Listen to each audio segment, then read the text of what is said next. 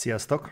És nagyon szépen köszönöm, hogy itt vagytok ezen az abszolút random jellegű kis mai streamen, aminek a, az indukálása az, az nagyrészt az, amit láttok, tehát a Square Enix-es esetről akarnék egy kicsit beszélgetni veletek, meg meg szeretném ragadni az alkalmat, hogy beszéljünk, hogy, hogy jelezzem, hogy Próbálj kicsit gatyába rázni a stream felületünket, úgy olyan az otherworld is, hogy tart, gyártódnak a tartalmak, és most egy elég ilyen légüres tér, egy ilyen vákum keletkezett a, a mondjuk a játékpiacon, és igazából arra jutottunk, hogy elkezdjük kicsit átgondolni, újra struktúrálni magunkban, hogy hogyan viszonyulunk sok mindenhez, tehát úgy, a tartalomgyártáshoz mondjuk itt a Twitch-en, vagy hogyan viszonyulunk a tartalomgyártáshoz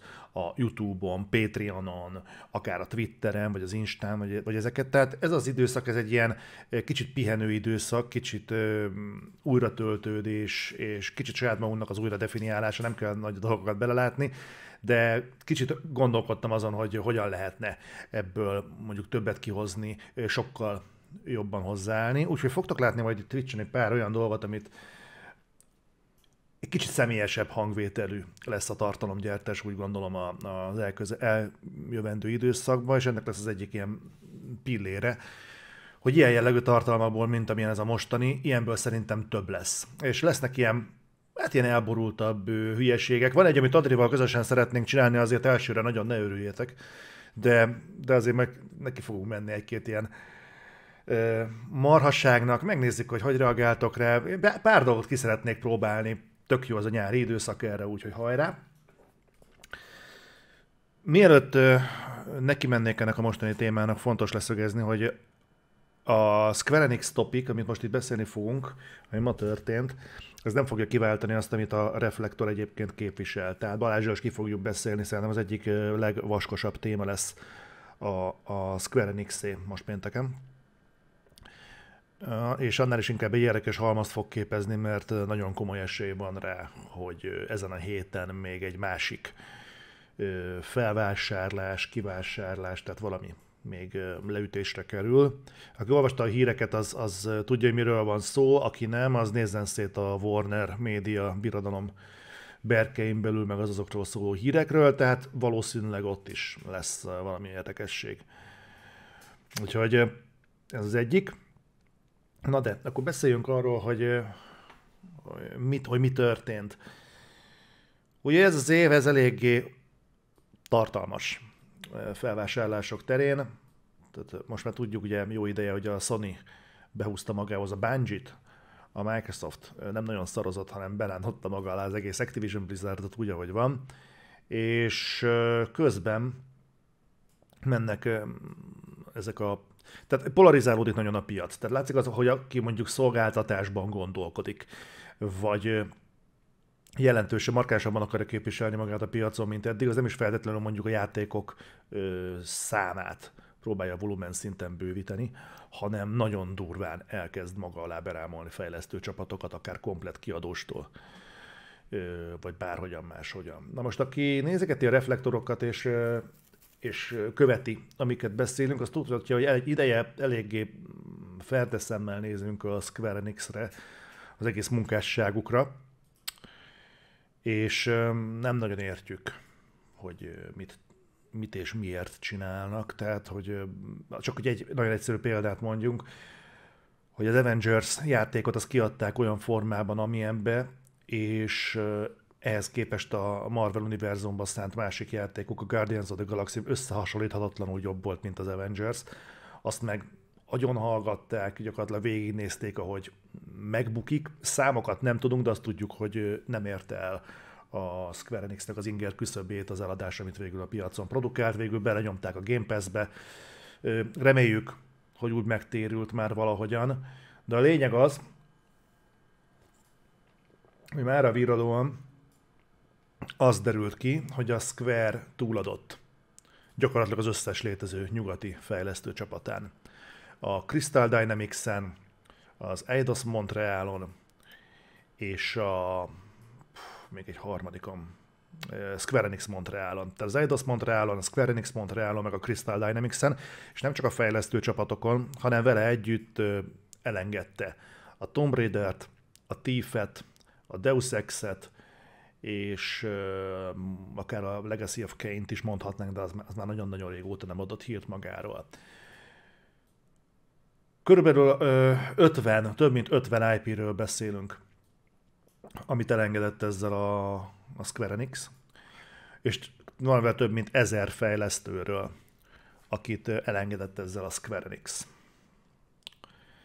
Na most uh, innentől kezdve nem nagyon van előttem, hogy pontosan mi van a Square-nél még ezen kívül, de gyanítom, hogy a Final Fantasy játékokon túl sok minden nem. a, megnéztem a, a Square-nek a Nasdaq részvény árfolyamát így a, a dolog hallatán, és a eszement kilengést nem tapasztaltam. Tehát a piac nem reagált rá negatívan arra, ami történt. Úgyhogy ha csak ez volt a cél, akkor, akkor az sikerült. Illetve még annyi van a hírhez kapcsolódóan, hogy azt lehetett tudni, hogy a Crystal Dynamics dolgozik, hát illetve besegít a Microsoftnak a, mi volt az, Perfect Darknak a fejlesztésébe, és ezt megerősítették, hogy ez, a, ez az ügylet, ez nem fogja negatívan érinteni a Perfect Darknak a Crystal Dynamics első részét. Úgyhogy ebből az irányból már megnyugodhatunk. A nagy kérdés az az, hogy innentől kezdve mi lesz a Square Enix sorsa, mert gyakorlatilag ez így a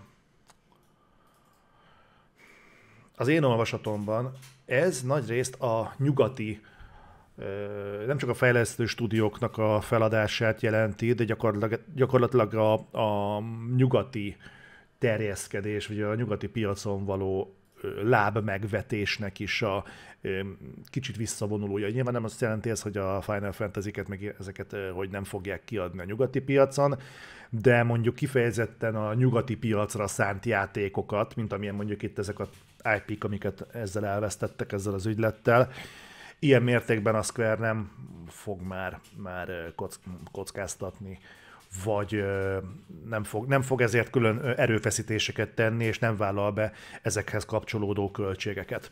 Na most ez egy mondja David, hogy a Nixis, ahol dolgozom, és szinte csak a Square játékait portolta, meg segített nekik, és minket is elengedett a, elengedett a Sony-nak ugye tavaly. Ó, Tök jó egyébként ezt így hallani. Szia Alcatraz. Tök ezeket hallani, hogy hogy eh, ilyen helyekről is eh, néztek minket, vagy hát esetünkben ugye engem, úgyhogy tök örülök neki, meg köszönöm ezeket az infókat.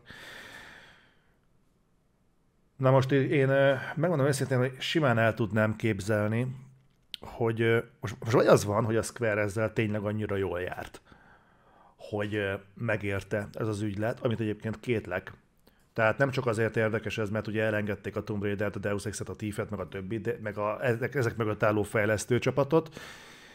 Szia Tóth Richard. Hanem az, hogy ez az egész ügylet lement 300 millió dollárból. Tehát aki mondjuk tudja, hogy milyen értéken cserélnek gazdát mostanában a prominensebb játékfejlesztő csapatok itt a játékiparban, az tudja, hogy ez azért, nyilván ez nem egy olyan pénz, aminek az ember hátat fordít, főleg nem így a magyarországi nézőpontból. De hát azért 300 millió dollár az, az bőven indokolatlanul kevésnek tűnik. Most, hogyha az ember azt mondja, hogy, hogy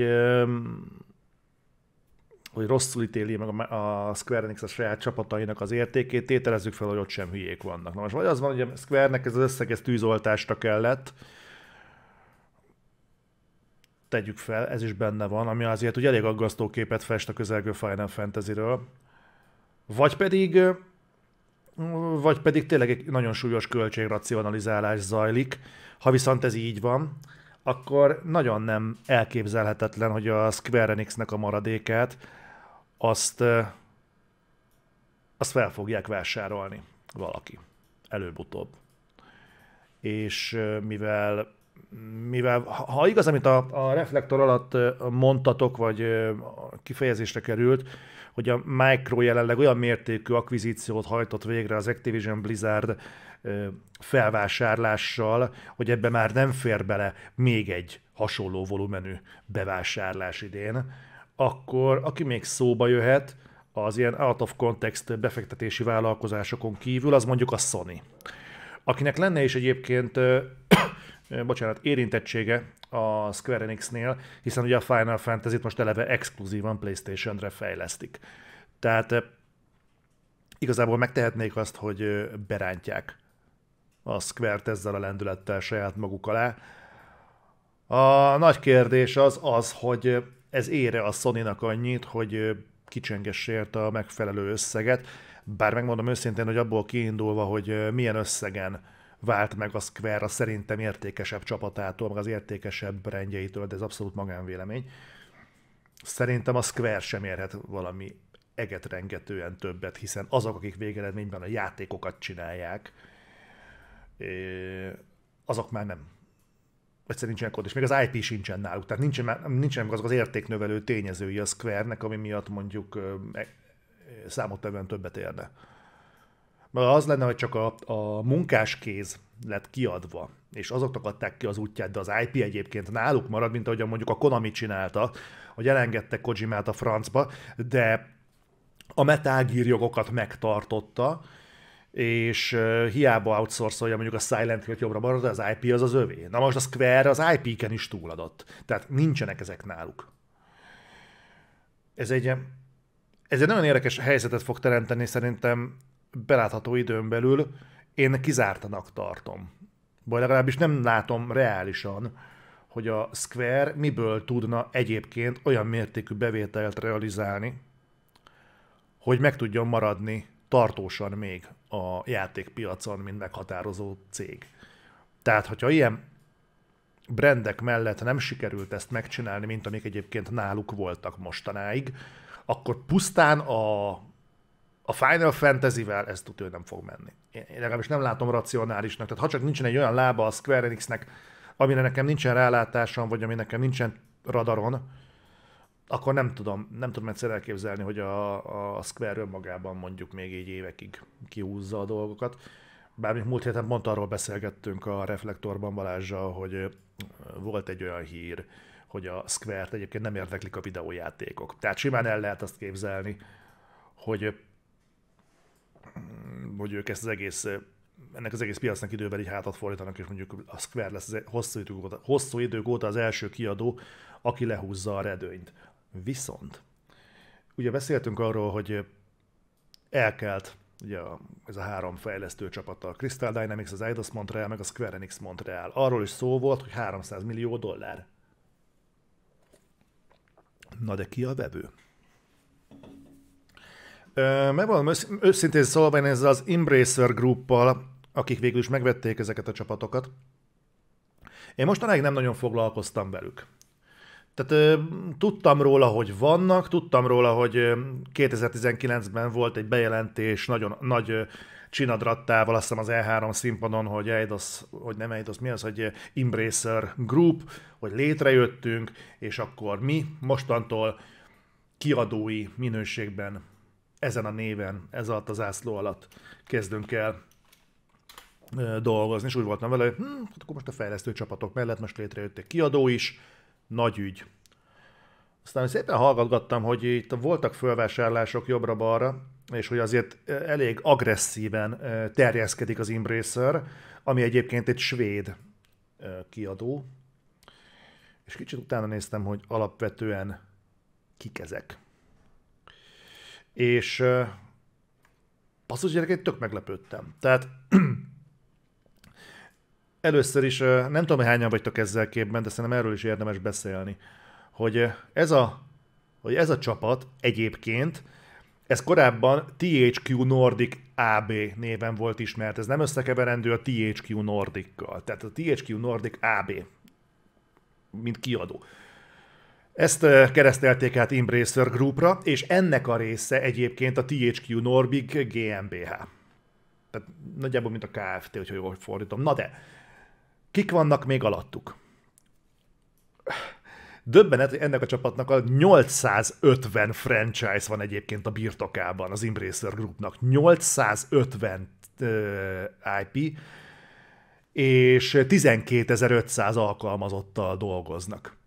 12.500-zal, 40 országban vannak jelen, és olyan cégek tartoznak alájuk, egyébként, mint ugye a THQ Nordic, a Koch Media, a Deep Silver, alattuk van a Gearbox, ugye, Borderlands és társai, de ilyen játékok tartoznak hozzá, mint a Dead Island, a Metro, a Kingdoms of Amalur, a Satisfactory, Wreckfest, World War Z, és hát ugye a Borderlands például.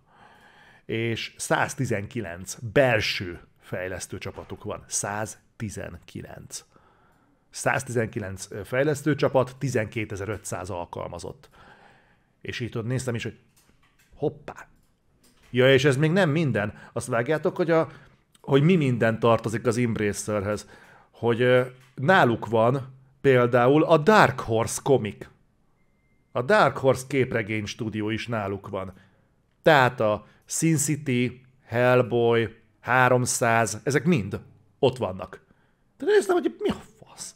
De mik ezek? Miről van itt szó? Nagyon, nagyon durva. A, a mi ez? Milyen 3D?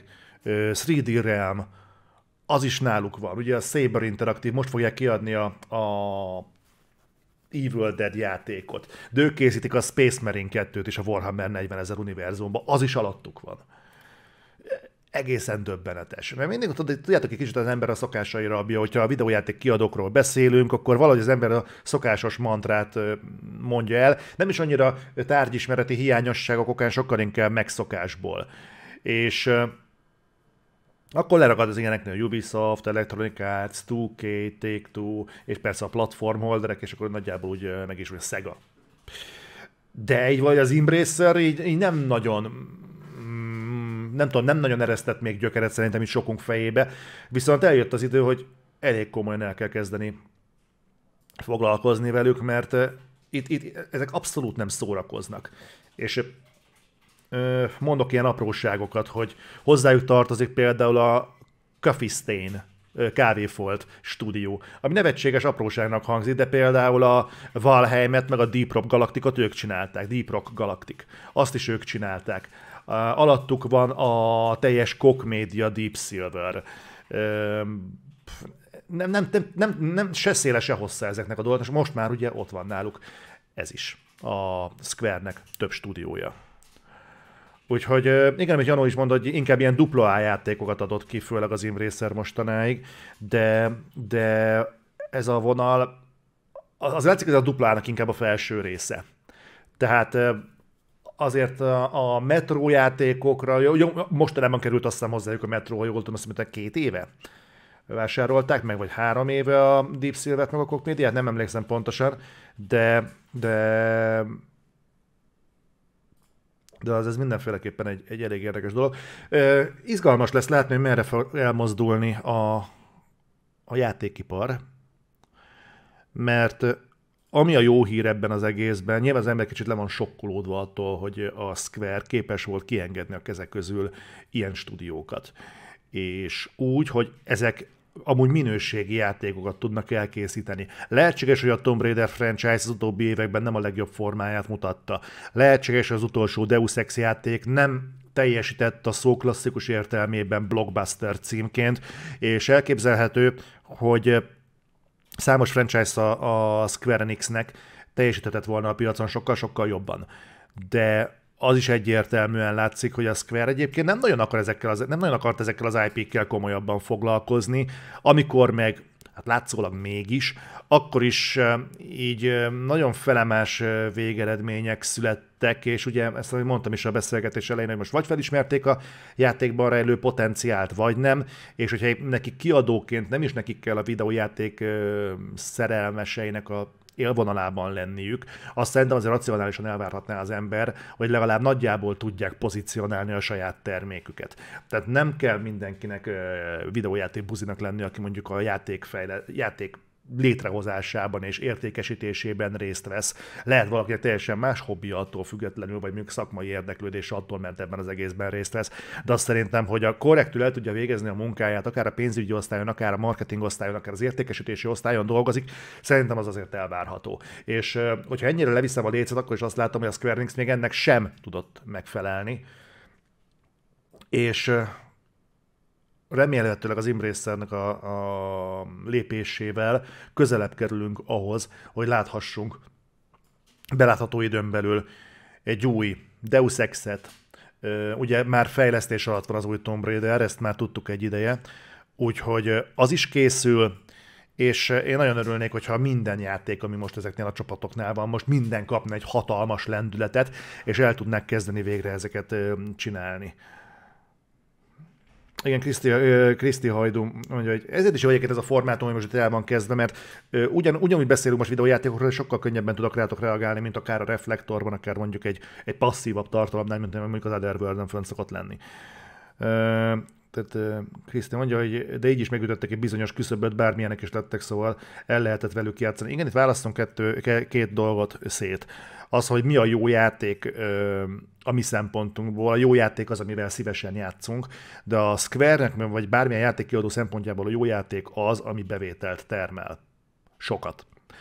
Tehát az én szempontomból én is úgy vagyok vele, hogy igen, ezek jó játékok voltak, a, a Tomb Raider is jó játék volt. Ezek nem voltak rossz játékok, egyik sem. A Square-nek volt egy elvárása, amit viszont nem ütöttek meg, és ennek többször hangot is adtak, úgyhogy itt inkább ez lesz a probléma, hogy, a, hogy pénzügyi oldalról nem jöttek be azok a számok, amiket vártak. Ezzel megint lehet vitatkozni, meg ezen lehet rugózni, hogy ezek a számok mennyire ö, racionálisak, és mennyire lehet elvárni mondjuk egy ö, galaxis őrzőitől olyan, olyan számokat, amiket egyrészt nem biztos, hogy fog tudni teljesíteni, másrészt meg az Avengers, a rosszul sikerült Avengers árnyékában, pláne nem biztos, hogy fogja tudni csinálni. Itt megint az van, tudjátok, hogy mennyire bízik valaki az adott franchise-ban. Esetünkben, hogyha mondjuk a Galaxis őrzői játékban nem is, de a Marvel-ben rejlő őrületes marketing erőt ki tudja valahogyan aknázni. Na most a jelek szerint a Square-nek sem a játékban rejlő erőt nem is került kiaknáznia, sem a Marvel ö, brandben rejlő őrületes lehetőségeknek nem engedett szabad utat. Úgyhogy ez egy ilyen több szinten is kompetencia kérdéseket felvető dolog. Jana mondja, hogy nincs olyan nagyon nagy meghatározó AAA játékuk, mint a Ubinak az Assassin's Creed vagy a Microsoftnak a Halo.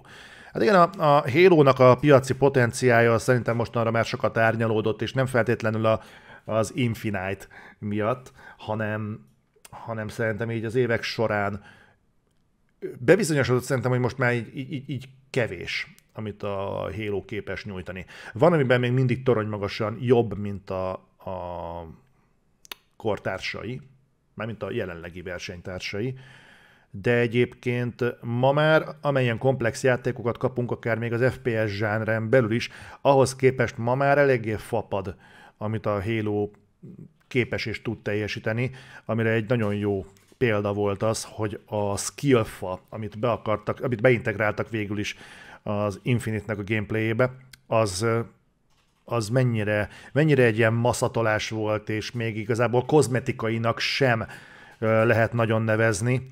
Persze nyilván mindenki próbálkozik, meg nyilván mindenki tapogatózik, hogy merre lehet tovább fejlődni, de azért vannak olyan formátumok, amiknél nem kell feltalálni újra a spanyol viaszt, és lehetne bőségesen bátrabban hozzányúlni formulákhoz. A Halo láthatóan szenvedettől, és nem nagyon tudják, hogy merre menjenek tovább, és akkor nagyon-nagyon politikusan fogalmaztam. De visszakanyarodva, nyilván a, a nem egy Assassin's Creed. És hogyha van is Assassin's Creed léptékű, vagy uh, Square Enix léptékkel Assassin's Creed léptékű játék a, a Square Enixnek, az nyilvánvalóan nem a Deus Ex. És nem a, még csak nem is a Tomb Raider, hanem az inkább a, a Final Fantasy. Én nagyon kíváncsi vagyok, hogy, hogy mit fog hozni ez magával, azt is el tudom képzelni, hát nem, mondjuk azt mondjuk pont nem, hogy a pénzügyi év végére kell mondjuk a statisztikát így villantani, meg, meg, meg helyrehozni a dolgokat, mert szerintem azon már túl vannak.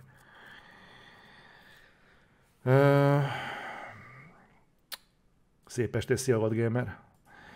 Nem igazán a piaci potenciálra gondolok a Halo-nál, hanem inkább egy olyan játék, ami azonosítani lehet. Ja, tehát egy ilyen maszkot jellegű játék. Hát, igen.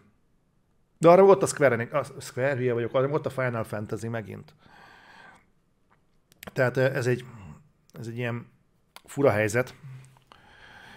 Azért akartam ezt veletek megbeszélni, nagyon-nagyon kíváncsi vagyok arra, hogy ti hogy látjátok ezt. Én ugye saját álláspontomat elmondtam, bár inkább igazából a, a, a té- szigorúan a tényekre próbáltam szorítkozni, amik itt vannak, és nem kezdtem el ebből levonni valamilyen messze menő konteót, vagy ilyesmit, hogy merre mehet ez tovább. Talán annyit helyeztem kilátásba, hogy szerintem egyébként kanyarban van az, hogy a Square Enix-et szőröstől, bőröstől felvásárolják. Pontosabban, ami a Square Enix-ből mostanra megmaradt. Nem látom okát, hogy miért ne, ha csak nem azért, mert a a Final Fantasy mondjuk még, a, még így sem ér annyit, hogy felvásárolják a Square Enix-et.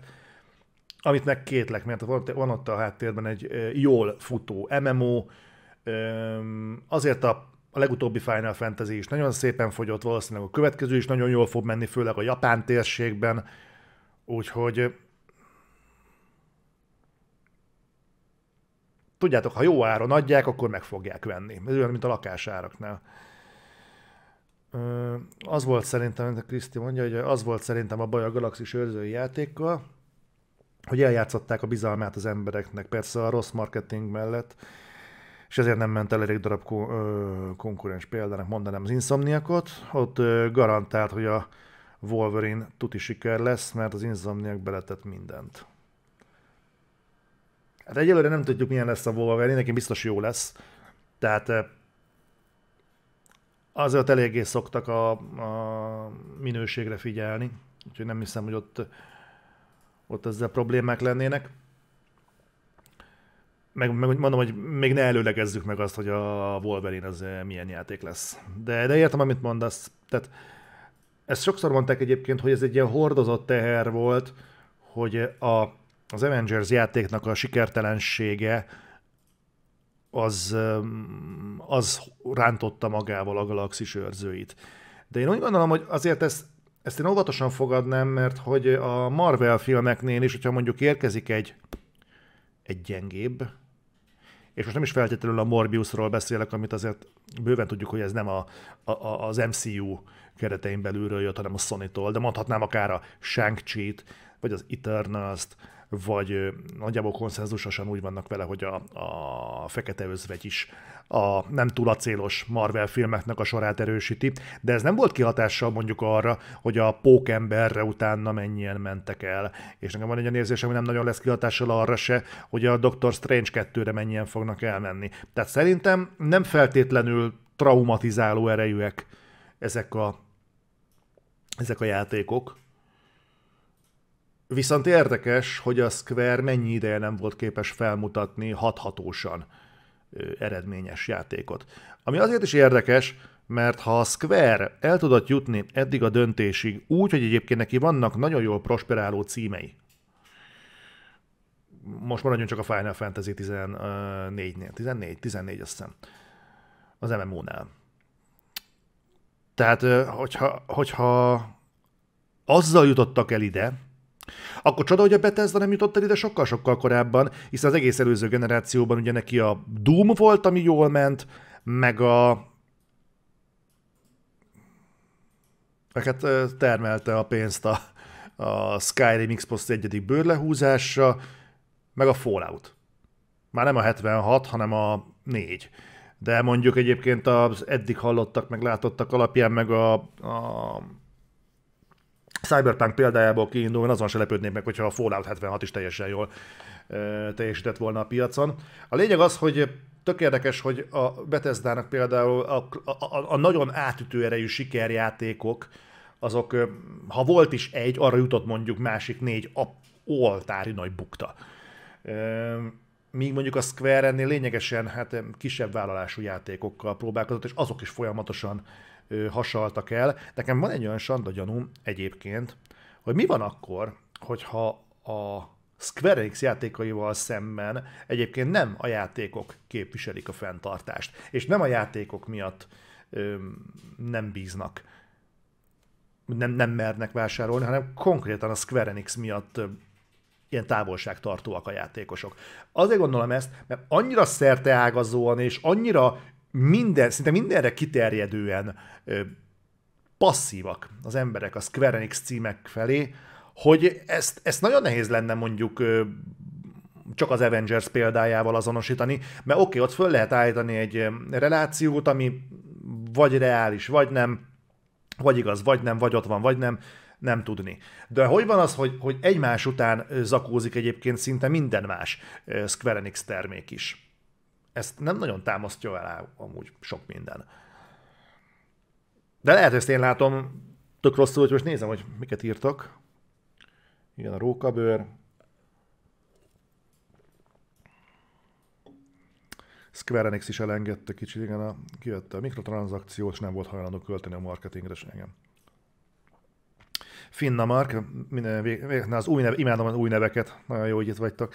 Szerintem a Microsoft be kellett volna húzza a stúdiókat, ezek a játékok Game Pass-be tökéletesek lennének, és ezt az összeget nem is befolyásolta volna az Activision felvásárlás. Mondom, nem tudom, hogyan működik, ezért örülnék annak, hogyha valaki, aki mondjuk a pénzügyi területen jártas, ha van itt, tehát gondolom vannak ilyen amerikai piaci sajátosságok, tehát akkor gondolom még ez is bejön a képbe színesítésként. Tehát ha valakinek ennek van rálátása, akkor majd dobjon már be ide valami kommentet, vagy valahogyan juttassa már el hozzánk, legyen szíves a véleményét, hogy egyébként abban a helyzetben, ahol most van az Xbox, tehát az Activision blizzard és úgy, hogy egyébként ezt már vizsgálta a pénzügyi felügyelet is, hogy mennyire van monopól helyzetben a Micro ezzel a lépéssel. Tehát, hogyha most vizsgálódnak, akkor ilyen körülmények között egyébként felvásárolhatnának-e akár egy lényegesen kisebb stúdiót a Activision Blizzardhoz képest, például mondjuk a Square Enix-et. Ahogy nagyon durva lenne, hogyha a Square Enix Final fantasy az Xboxhoz kerülne, pláne fejlesztési időszak alatt, de láttunk már hasonló lépést. Jelesül a Bethesda-nál ugyanezt történt, a,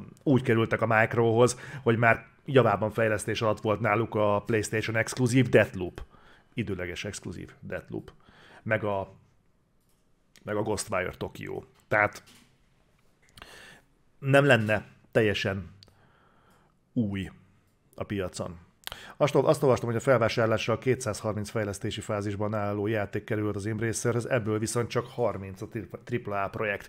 Nem lenne meglepő, mert az Embracerhez többek között nem csak ugye ezek a fejlesztő stúdiók tartoznak, meg ez a képregény csapat, a Dark Horse Media, hanem náluk vannak mobil tele, mobilra fejlesztő csapatok, de a világ harmadik legnagyobb mobil fejlesztő csapata az Embracernél van. Ez a... Csű, várjál. Mi a nevük? Már összeírtam a reflektorhoz az anyagot, és ez a Crazy Labs. Tehát ők is ott vannak. Ugye simán el tudom képzelni.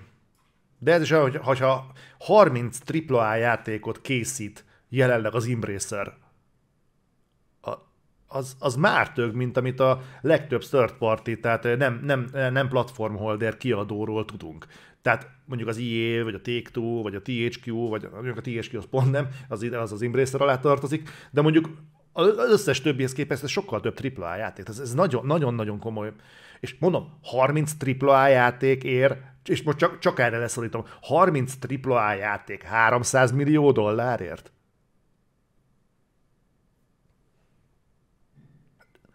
De érzitek, hogy ez apró pénz. Tehát normál esetben egy AAA játéknak a fejlesztési költsége, hát ilyen 100 millió dollár biztos. Annyi biztos hogy az ki kell érte köhögni. Egy valamilyen AAA játékért mondjuk a, itt van a refresh chat, a chat frissítése gomb, mondjuk a refresh chat uh, AAA játékot akarod fejleszteni, hogyha tényleg azt akarod, hogy az mondjuk megüsse a jelenlegi korrekt szintet, akkor az ilyen akkor az ilyen belépő át, tehát ez nem, nem lenne szabad, hogy meg, meglepődjél, és akkor onnan megy majd feljebb. Nos, 60 játéknál ez, értetek, hogy miről beszélek, nem szükséges a matekot elvégezni. Tehát csak, csak hogy tudjuk kontextusba helyezni, ez a 300 millió dollár, ez tényleg apró pénz. Ezért ennél a léptéknél.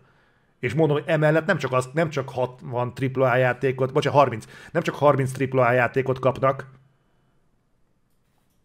hanem emellett megkapják a, megkapták a Tomb Raider-t, megkapták a Thief-et, megkapták a Legacy of Kane-t, megkapták a, a, a, a, a, a Deus Ex-et. És a stúdiókat mögötte. Őrületes, tehát ez annyira apró pénz, hogy innentől kezdve, hogy ez, ez felfoghatatlan. Nem értem, hogy, hogy, jött ez létre, nem tudom, mi volt mögötte. Mert az is érdekes lenne tudni egyébként, hogy a asztal alatt a Square egyébként már árulta ezeket a stúdiókat, vagy egyszer csak belépett az Embracer Group hozzájuk egy visszautasíthatatlan ajánlattal, de ebben az esetben hogy lehetett visszautasíthatatlan ajánlat 300 millió dollár ekkora részéért ennek a cégnek? Nagyon fura. Nem tudom. Old Gamer mondja, hogy a Fallout 76 csalódás volt számomra, teljesen megölt a Lone Wanderer fogalmat és a vele járó feelinget. Igen, mert ugye a Falloutnak az a rész, az, az is egy szerves része, hogy vége a világnak, és egyedül fedezett fel azt, ami megmaradt belőle. És ez, ez, ez legalább annyira része a játéknak, a játék atmoszférának és a játék eszenciájának, mint a mondjuk a, a, a skillfal, meg a fejlődési rendszer, meg, meg ugye ezek. Tehát, de értettem egyébként, hogy mögötte egy, mi volt, tehát hogy úristen, találkozhatsz a többi túlélővel, tehát ott volt az, csak nem, nem szükséges visszamenni az időben, pontosan tudjuk, hogy mi történt ott. Lassan a Microsoft felvásárolja bennem. Szia Stormbird! Ez kínai cég, nem? Most nézegetem, hogy Mobi mondja, hogy igen. Igen. Svéd cég. Igen, ja, ja, ja, bocsánat, az Embracer Group. Igen, svédek, svédek. És ráadásul egyébként elég régi múltra tekintenek vissza. Pont azt néztem, itt most az élő adásnak a bája, hogy bármit rákereshetek. És pont azt néztem, hogy a, az Embracer amúgy nem most került ide mellénk, hanem egyébként ez már 90-es években is létező cég volt és azt hiszem Nordic Games néven ment, ha jól látom. Csak utána ez folyamatosan átalakult, bővült, átkeresztelték, meg mindenféle átment, és most éppen Embracer néven megy.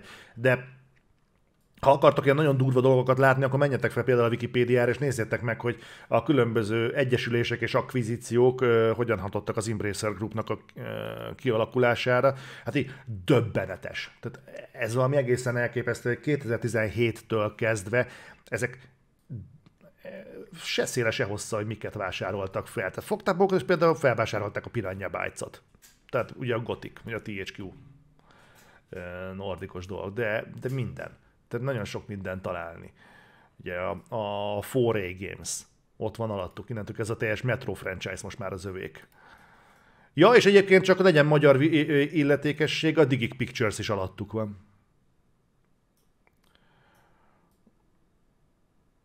Csak hogy tudod, ezek, ezek mind olyan dolgok, hogy így, így, így nem feltétlenül tudatosul az emberben. De amikor elkezded ezt így szépen sorba rakni, és azt látod, hogy egy, egy akkora nagy dög ez a vállalat, hogy így Peszabehu. Nagyon, nagyon... Másfél meg izgalmas, mert folyamatosan történik valami, és, és folyamatosan változik ez a piac, és nincs, nincs az, mint amit nagyon sokszor látok. Amikor a reflektorhoz csinálom a thumbnail képeket, akkor szoktam rájönni, hogy alapvetően mindig olyan, mintha mindig, mindig ugyanazokról a dolgokról beszélnénk. Mint, mintha mindig a Halo-ról beszélnénk, meg a God of War-ról, meg ezeket, és itt tényleg olyan, mintha lassan nem nagyon jönnének hírek olyan játékokról, vagy olyan projektekről, amihez ne a meglevő grafikai asszetből kéne a thumbnail összeollóznom. És szépen lassan ez a gondolkodás menet, gondol, gondolatmenet így el, eluralkodik az emberen más, más síkon is, és akkor így észreveszed, hogy itt volt egy, van egy kiadó, akire már hosszú-hosszú idők óta ö, intenzívebben kéne figyelni. Úgyhogy ezt én most mindenféleképpen fölveszem a, a repertoárba, és elkezdem aktívabban követni őket, mert, mert, mert, mert döbbenet. Tehát én például nem tudtam, hogy van ez, tehát van ez a, ez a Beam Dog. Hallottatok már Beam Dogról? Itt, itt, itt tök elfelejtettem, hogy ezek vannak, és így akkor vettem észre, hogy így, ja, egyébként így a Icewind Dale, meg Neverwinter Nights, meg Planescape Torment, meg ilyesmi, de mi van? Jó, tehát ezekben benne vannak, tehát egy kurva sok tehetséges csapat van alattuk. Mindegy, a lényeg az, hogy én abban bízom, nem tudom honnan jött egy 300 millió. Így is annyi hír van minden héten, nehéz követni. Éjszakás műszakban szoktál hallgatni? Hol vagy éjszakás? Merre felé dolgozol, nem vagyok indiszkrét? De kiderül, hogy a parlamentben azt a kur. Hm.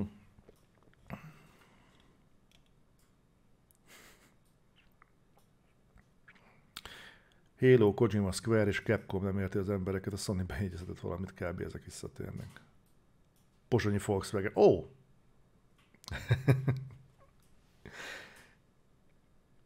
Jó, igazából ez most egy ilyen, ilyen friss kezdeményezés itt nálunk, hogy megpróbálunk ilyen tartalmakat csinálni majd így időről időre. Nem feltétlenül videójáték hírekben, hanem mindenfélében, nem tudom. Elmondhatom, André, mivel készülünk a napokban? Aha. Jó. Tehát csak a számítsatok rá, hogy a napokban, nem tudom még pontosan hogyan, mert szerintem a mostani adásban is halljátok, hogy Adri közben gépel a háttérben nagyon vadul, és dolgozik. Szerencsére nekem ilyen gondom nincsen, na mindegy. De nem, hanem hogy tervben van, hogy, hogy elvégzünk egy online személyiségtesztet itt, itt veletek. Mert nem tudom, hallottatok-e ilyenekről, hogy valaki zöld típus, vagy piros típus, és aki színekre van bontva, és kurva kíváncsi lettem, hogy én például kék vagyok, vagy rózsaszín, vagy bézs, vagy ilyesmi. Úgyhogy üdv felvidékről. Szia! Olyan Facebookos, hogy milyen kenyér leszel. Igen, hasonló, igen, csak színekre bontva, úgyhogy olyan ötletünk támad, hogy ilyeneket is szépen behoznánk, és akkor úgy, úgy, úgy megmutatjuk nektek, és akkor egyszer egy ilyen nekem is ilyen fura lesz, hogy milyen kérdésekkel fogok találkozni, illetve szeretnék behozni majd olyanokat, hogy közösen megnézzünk trélereket. Tehát, hogy először fogok majd ezekkel szembesülni, és akkor kibeszéljük a látottakat, megnézzünk akár 5-6-ot adott témában, és akkor és akkor megdomáljuk, hogy mit láttunk, tetszett, nem tetszett, és akkor ilyenek. Ezt csinálja meg Balázs is. Balázs fekete lesz, az biztos. Mindig, mindent. Semmit se szeret. Örmek kérdezi, hogy nézzük-e a Moon Knight-ot. Nem nézzük a Moon Knight-ot. Én nem akarok, nem, nem szeretem a, a Marvel sorozatokat. Egyetlen egy jóval sem találkoztam, amit úgy tényleg szerettem volna. És nem a Moon Knight-tal tervezem elkezdeni, mert ráadásul szegény Oscar Isaac-et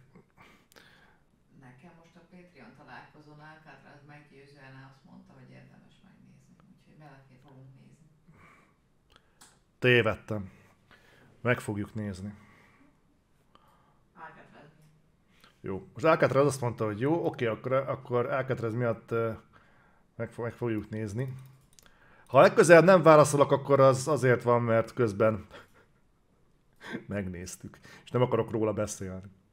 Jó, srácok, csináljunk egy olyat, hogy azért nincsen egyébként kiírva az, hogy ilyen jellegű streamek mikor várhatók majd egyébként tőlem tőlünk, mert nem tudom pontosan mikor tudunk ebbe beleugrani. Tehát holnap például én megyek a Doctor Strange-re délelőtt, aztán a Doctor Strange-re délután, és szerdán lesz ugye a premier előtti Doctor Strange-ünk. Gyertek minél többen. Gyertek megnézni velünk premier előtt a Doctor Strange 2-t, mert fasza lesz, és aztán elmegyünk valahova, akkor ahol még faszább lesz. Úgyhogy nyomjunk egy ilyet. Jó, hatalmas Marvel fan voltam, engem sem érdekelnek a sorozatok, nem kötnek le. Oké. Okay. Srácok, én nagyon szépen köszönöm a figyelmet, nagyon szépen köszönöm, hogy itt voltatok velem. Holnap Hát holnap vagy találkozunk, vagy nem. Valamit mindenképpen csinálunk. Még szerdán tudja, hogy lesz egy streamünk még, és mondom, amint ki tud alakulni ennek az egésznek a rendes ütemterve, abban a pillanatban ez már be lesz ütemezve a Twitch felületen is, hogy tudjátok követni, és be tudjátok állítani a remindereket. Úgyhogy Úgyhogy nagyon szépen köszönöm, hogy itt voltatok, és talán és akkor találkozunk legközelebb. Sziasztok!